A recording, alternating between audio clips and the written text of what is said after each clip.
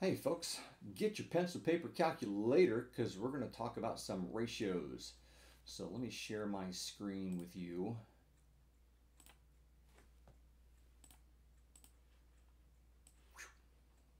All right, there we go. Most of the time people think about ratios as being fractions, but they're not actually fractions. But for review, let's um, let's do a couple of reducing fractions here. So 32 uh, over 40 what number can you divide the top and the bottom by? That would be um, 8. So what's 32 divided by 8? That would be 4. And then what's 40 divided by 8? That would be 5. There's your reduced fraction in lowest terms. Um, kind of nice. That's kind of the fourth grade method though. What about the, what about the next method? Uh, what number can you divide 42 and 35 by? Well, that would be 7 but instead of dividing top and bottom by 7 like that, let me just do a little bit of a, uh, a factoring thing. Can I write 42 as 7 times 6? And then 35 is 7 times 5?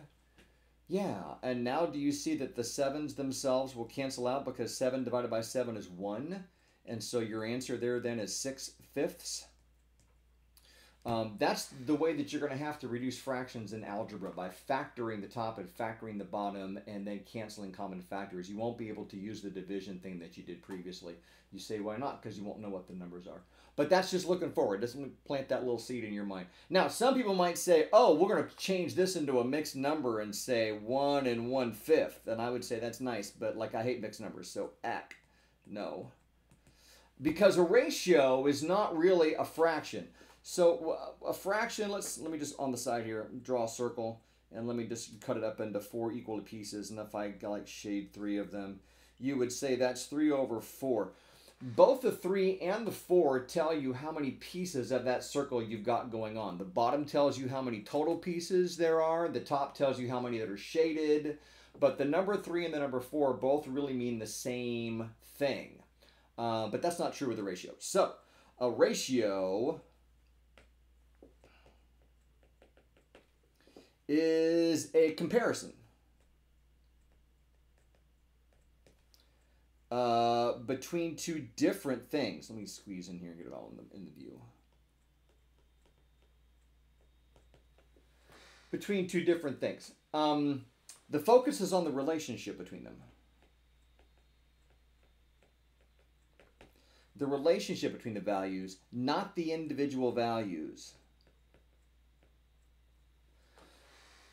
So a ratio is a comparison between two different things, and the focus is then on the relationship between them, not one, not what the individual values are.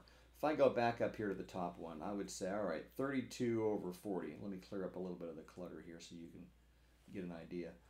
The, the main focus really isn't 32 and the main focus really isn't 40. It's the relationship between those two things. How does 32 relate to 40? And by saying it's equal to 4 fifths, we're actually saying that it has the same relationship as 4 to 5. Okay? So, am I saying that 32 is equal to 4? No, that's crazy talk. Is 40 equal to 5? No. But the relationship here between the top and the bottom, how the top one relates to or compares to or is in standing with the 40, that's the same thing as 4 to 5. And that's what a ratio is. And so that's why a ratio, you can't ever have a mixed number. Now, in order to in order to do a ratio, you really need to see a top part and the bottom part and they need to be separate things. So mixed numbers really are not allowed in, in ratios. The most common ratio that you'll find in algebra is going to be slope. Just you wait till you get to slope in algebra. It's so good. Okay, so how to write ratios. Ratios are written like this. You could say A, being A just being some number, A to B. So like, I don't know, the, the ratio of people wearing blue shirts and the people wearing green shirts or something like that.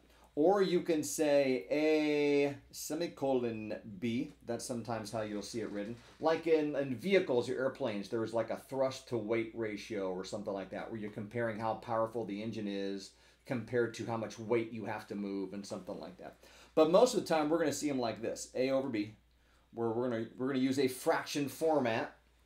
Um, or you could simply say... Um, oh, what was the third one? I had a third one. Oh, you could you could see it like this: a slash b.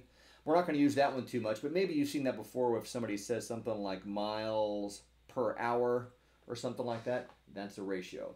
Okay, so when you reduce the ratio of the lowest terms, it's called the fundamental.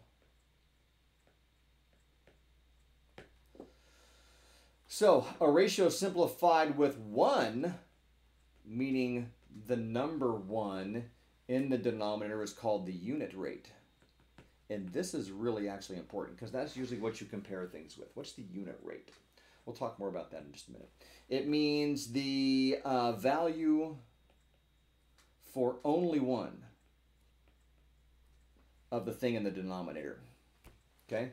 So uh, unit rate means the bottom number is 1. And so you're just looking at the top number.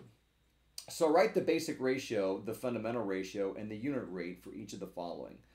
So number one, 15 blue-eyed people for every 20 brown-eyed people. Okay, so that would be 15. And let me, oh, let me change the color.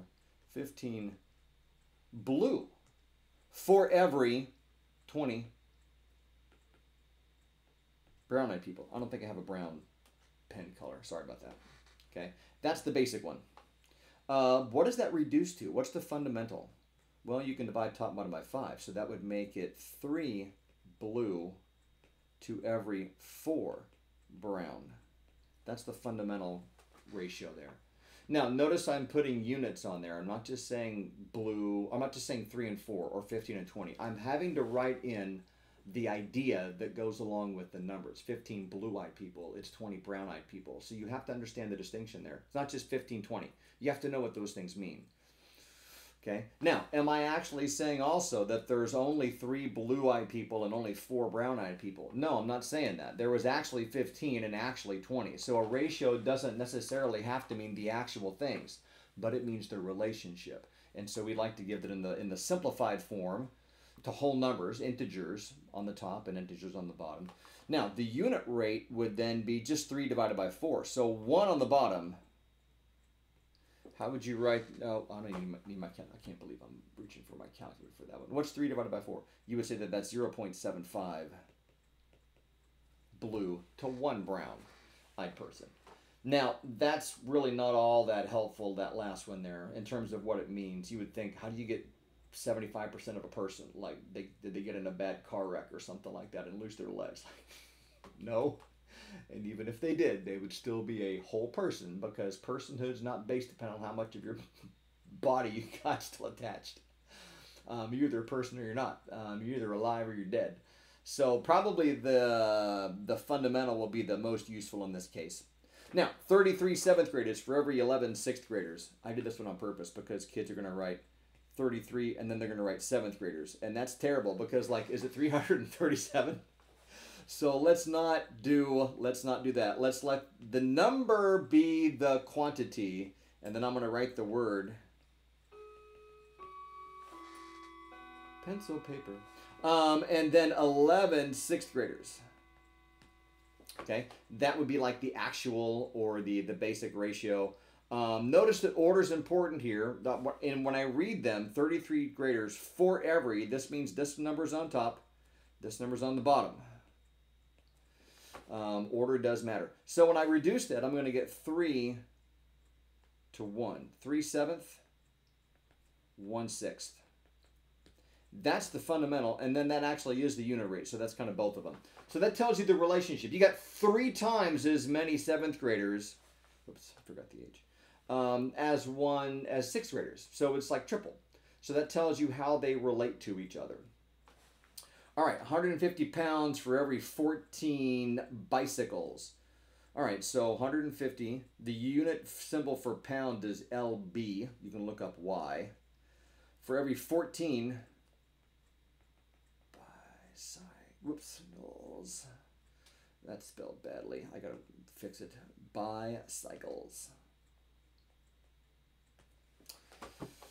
Okay, so now reduce that one. What numbers go into 150 and 14? Well, 150 is probably a lot, but 14 I only know of two. That would be 2 and 7. And um, I know that 150 is divisible by 2 because it's even. So let's just do 150 divided by 2. So that's going to be 7 bicycles on the bottom. And then 150 divided by 2, was that 75? Yeah, I like I knew that, but since I'm on camera, I'm I'm kind of nervous. 75 pounds for seven bicycles. That would be the, the fundamental.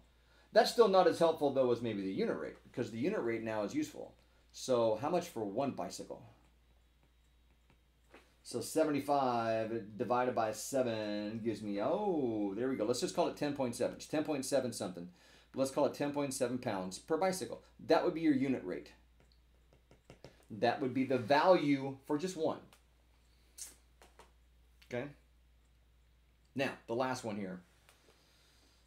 1092 for 12 ounces of coffee. This is actually the coffee that I drink. It's Gevalia coffee, and it's like it's about $10.90 for a 12 ounce bag. So let's do that ratio $10 for 12 ounces. OZ. Okay, that's the basic one. Um, now, what's the what's the fundamental? When you got decimals on top, it, it probably won't reduce down to a whole number. the The key to the fundamental was that it was it was um, integers, seventy five over seven here, or this one was three over one, or this one was three over four. Those are nice fundamental ratios. Since we've got a decimal on top already, like, I don't know, 12 is divisible by 2. So if I take 10.92 divided by, uh, divided by 2, I get $5.46 for 6 ounces. I can divide that by 3. I get $1.82 for two ounces. Like, I'm not sure that any, any one of those is a fundamental. Like, how is that, like, whole numbers on top and on bottom? So I don't know that you can do a fundamental on this one, but you can do it unit rate, and that's what's important. So if I get it down to 1, I'm just going to go back to the beginning. 10.92 divided by 12 equals $0.91 per 1 ounce. That's actually now helpful because that tells you the price for a single unit of the coffee and it's measured in ounces. What if they offer like a family size bag or something like that? Family size bag of 30 ounces. I'm just going to make some numbers up here as a as a practice one. What if they say it's a 30 ounce bag and it's uh, let's see here, $30? Like, gee, which one is which one's cheaper well the cheaper one is just to buy the smaller bag because it's less money but there may be a question of getting more coffee for the same amount of money because usually when you buy a, in bulk or you buy a larger bag of something you, you get more of the stuff for the same amount of money right you know about that like when you go to sam's and you, you're like gee there's a 50 pound bag of swedish meatballs i guess those meatballs are pretty cheap I don't know who would ever eat 50 pounds of Swedish meatballs, but you know what I'm talking about. So let's do a comparison here. Which, which one is actually the better buy? Which one gives you more coffee for the same amount of money? So I'm going to do again money on top. $30 for, what did I say? 30 ounces? Sorry. I got a zero for the O and a 30 for the ounces here. So what is that? Well, that's flat $1 per one ounce. Is that a better buy than the 12 ounces? No, because now you can compare them directly. This one's cheaper than this one for the same amount of coffee. So look for this the next time you go shopping at the store or something like that. Look for the unit rate that's on the price tags. I used to have to go into the store with a calculator and to figure stuff out. You're like, boy, you're geeky, Mr. Marsh. Yeah, I'm so geeky. I even had the calculator on my watch. I'm like figuring out the little little Casio calculator watches. Which one's the better buy? The the 12 ounce box of Frosted Flakes or the 46 ounce box of Frosted Flakes? Because you're going to eat the whole box, you know. So it's not there's nothing going to go to the waste like the Swedish meatballs. You're to eat the whole box. See which one's the better buy. And you're like, well, gee, I don't have enough money to buy the bigger box. Well, then that answers your question for you. But sometimes when you buy in bulk, it's usually a lower rate, but not always. So pay attention to that.